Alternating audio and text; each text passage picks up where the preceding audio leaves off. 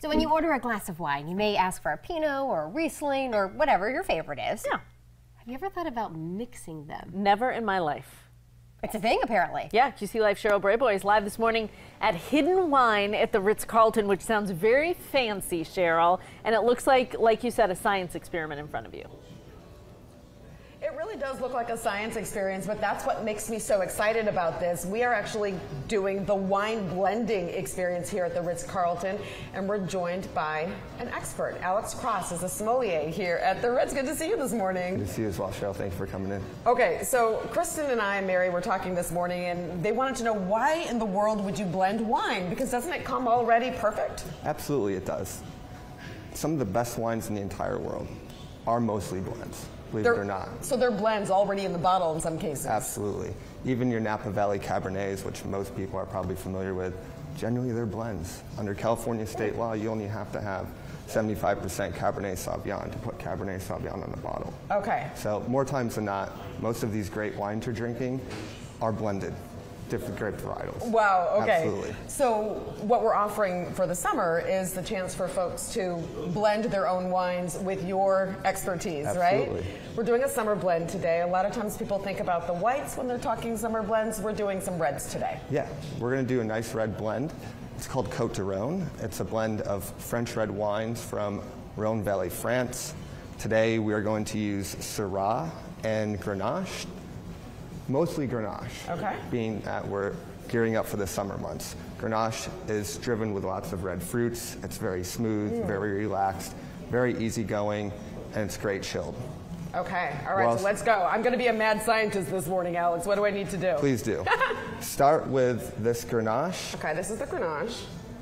And you will want to put it right into this beaker here. Okay, this really is fun. It is like being at the chemistry lab in high school but better. Better result at the end. Am I pouring the whole thing? Yeah, go ahead and pour okay. the whole thing. Pouring the whole thing in there. Wow. So this was the easy one. Okay. We're going to add a little bit of Syrah to this blend okay. to give the wine a little more depth and a ah. little more nuance. When you say depth, what does that mean? Depth is a little more complex. A little more complexity in the wine. Okay. So this one we're going to go right up to the gray dot here. Okay. so we're going to add a little more complexity, a little show more me, nuance to the wine. Show me where that dot Your is. Your red dot's right here. Okay, yes. so I'm going right here. Yes, ma'am. Oh, I was okay at chemistry, I have to say, Alex. I wasn't the Our best. Our guests are always welcome to get hands-on with this. You're always welcome to let a professional do it. It's totally yes. up to you. It's totally okay. up to you. All right. But well, I like people who are willing to jump off the deep end. Well, so take that's some fantastic. courage. You did great. Thank you did you. great. Thank you. you. Did great. All right, now what do we do? So the next step is to get this thing into a bottle. Oh. Oh, so they get to make their own bottle literally to take So home. we're going to give you a bottle to take home. You're going to get to taste the individual grape varietals to give you an idea of how much of each grape you want in your blend. Oh. Maybe you really love Syrah, and maybe Grenache is just okay for you. Oh. In which oh. case, we can okay. make a Syrah heavy blend. We only have 90 seconds left. Okay, so what sure. I, does it matter which yeah, goes go first? ahead, dump it in. All right, we're jumping in. Ooh, this is fun. This would be a great date night. And the wine's excellent too. And being able to taste the different grape varieties by themselves uh-huh. and then taste it when after they're all put together, okay. it's very fascinating. Oh my goodness. All right, you've been doing this for a while? I've been around wine for the past five or six years. All right, good deal. Okay, so there's our blend. We have one minute left. Did we want to taste this real quick? I would. I kind of want to taste it real quick. Can I grab one of those? I know. Okay. That's perfect. Thank you. Cheers. Cheers. Hmm. Mm, that's nice. It's, it's nice and light and fruity and Absolutely. summery for sure. Absolutely. I love this idea. Chill it down a little bit, chill it in the fridge for a half an okay. hour, and have a good time. good it. deal. Yeah. We're going to take a walk here, the Hidden Wine Cellar experience, right? Yeah, this is our, our uh, hotel lobby retail wine shop. Okay. Of course, it's available to all of our guests staying in the hotel, but it's also available to all the people traveling through Uptown.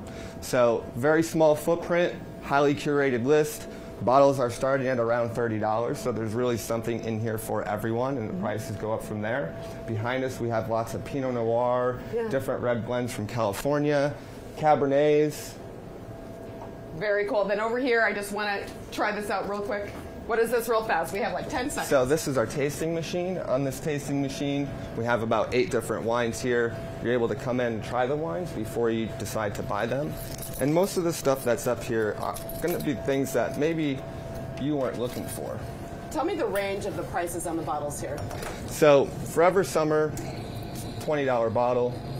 Probably the most expensive bottle up here is this Merry Edwards Pinot Noir, which goes for about $90. Forever Summer, hmm. French Rosé for the wonderful Cheryl. Oh, thank you, Alex. That is nice. That is a nice, refreshing, summery wine. Alex, thank you so much. My pleasure. Cheers, guys. Mary Kristen, back to you. Cheryl, what's the most expensive bottle in that room? Ask him real quick. The most expensive bottle, was that the one you were talking about? No, oh, in the room. That's just in on the a room. tasting machine. In the Probably room. our Oh, in the most, room, Our the most room. expensive bottle in the room is probably about just under a $1,000. That's what I thought. Whoa, Comes from Napa. Valley. Imagine that. Okay, right? Just a regular Saturday night out. So, For somebody, Michael Jordan maybe. Thank you, Cheryl.